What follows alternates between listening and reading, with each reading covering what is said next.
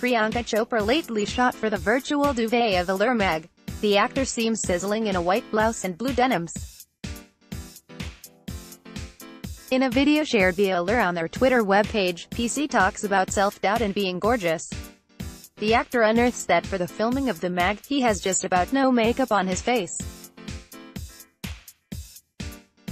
She stated that because the photographer took an image of her face, she may just see pores, swelling, freckles. The actor says that she can't be expecting the outside to be easy in Photoshop or use filters as she does on Instagram.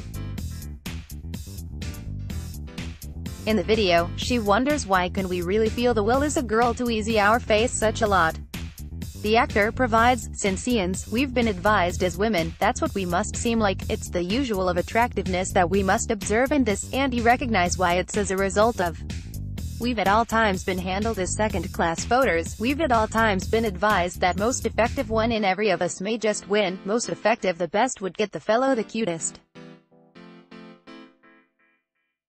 Can we adore each and every different for a moment and say, I should not have some of these magazines to inform me the best way to drop pounds, how must I die of starvation to thrill the person?